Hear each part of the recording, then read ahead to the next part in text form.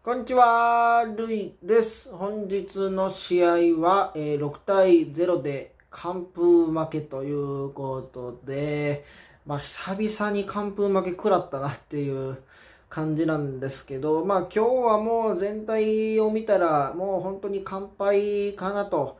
いう試合になりましたね。ちょっともう何もなんか、まあ、悔しいんですけど、まあ、悔しいをも通り越してるというかね、それぐらいこう圧巻な、えー勝ち方をされてしまったっていう感じなんですけど、まずこう先発ね、えービーズリーだったんですけど、3回3分の1で、被安打6、三振2つ、フォアボール1つ、5失点で自責が3かな。ということで、まあまあ、良かったと思うんですけど、ね、立ち上がりから、立ち上がりとかはね、本当に危ないことはなかったと思うし、ストレートも良かったと思うし、まあスライダーとかカット系もね、コントロールできていったと思うんですけど、まあ3回、4回に捕まってしまったんで、まあでも、うん、まあ雨が降ってきてからちょっと悪くなったかなという感じなんですけど、まあでも特に3回とかのタイムリーは、まあ結構うまく打たれてるんで、そんなに悪いボールじゃないのにっていう感じなんですけどね。まあ広島の、えーバッター陣がね、まあうまく対応してきたっていう風にも見えたし、まあ4回に関してはね、ちょっと、まあ今日もね、サードに小野寺がスタメンだったんですけど、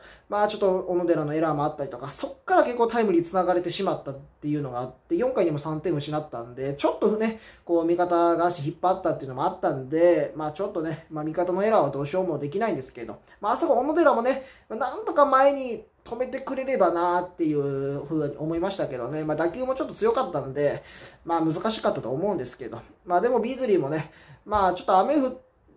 きてから悪くなっちゃったので、そこの、まあ雨降ってね、悪くなるっていうのはちょっとやっぱり影響あったのかなと思うんですけど、まあでも、なかなかね、雨の中で登板することって、まあそこまでないと思うんですけど、まああんまり、うん、まあ悪くはなかったんでね、まあ次回また修正してね、えー頑張ってほしいなと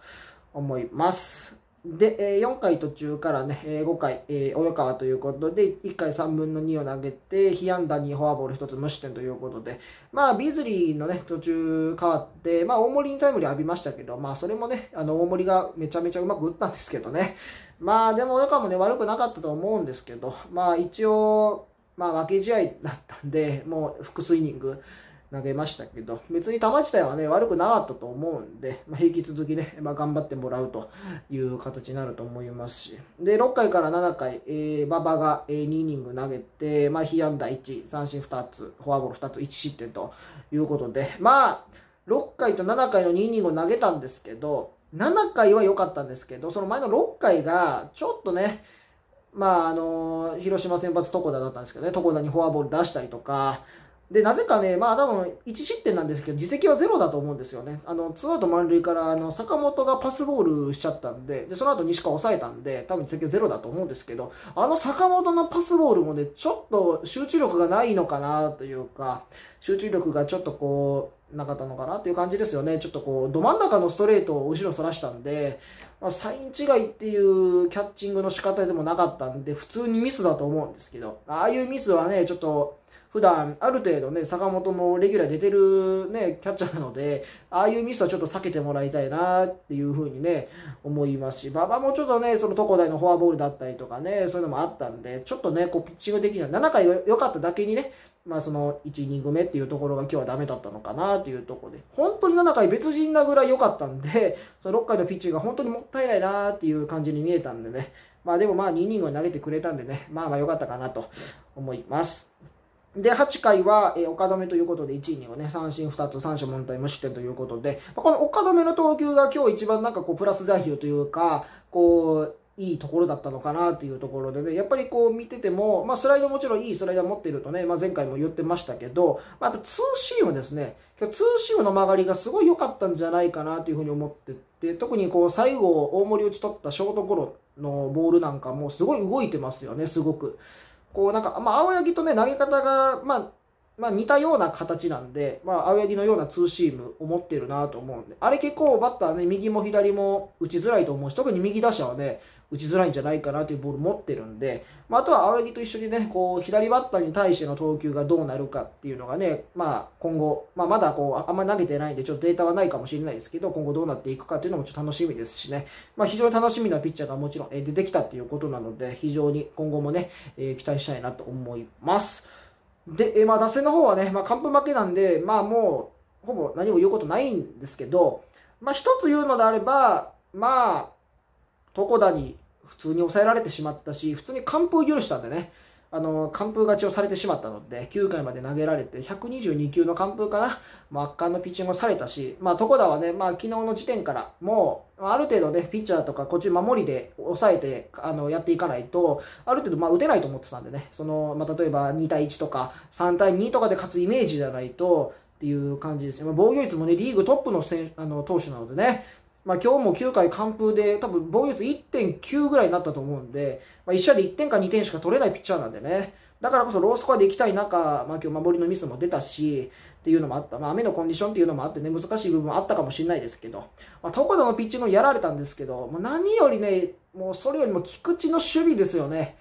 菊池の守備、えぐいです。本に、まあ、毎年こう思わされるっていうことなんですけど、まあ、例えば広島のピッチャー陣はどれだけ菊池のね、こう守備に助けられてきたかっていうのも多分いろいろこう気持ちあるんじゃないかなと思うし、逆に他の球団からしたら、菊池に対してどれだけ嫌な感じに思っているか、こう人として嫌じゃなくてもう、お願いやからもう、菊池のとこに飛んだら終わりだなっていう気持ちになるわけですよ、こっちからしたら。なかなかね、エラーもしないですし、やっぱりゲッツーとか取るのも、例えばショートゴロ6、4、3のゲッツーになった時に、ショートの送球の補給してからの投げるのが早いですね、ファーストに。だからこそ、中野の1回ゲッツーがあったんですけど、それがショートゴロゲッツーだったんですけど、あれ多分ね、セカンド菊池じゃなかったら、多分セーフなんじゃないかなっていうタイミングだったんで、その投げてから早いっていうのが、まあ、ゲッツーにつながるっていうのはね、そういうのも大事だなと見てて思いましたしね。まあ、菊池はちょっともう忍者ですね、本当に。もう毎年思いますけどね。まあ今日は床田のピッチングにもやられたし、菊池の守備にもね、